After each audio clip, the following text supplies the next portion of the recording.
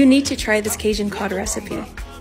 Add minced garlic, melted butter, and Cajun seasoning to a bowl and mix it up.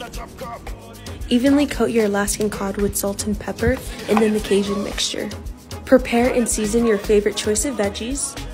Bake for about 20 minutes and then serve. We added feta, chives, and salsa on the side for added flavors. And voila!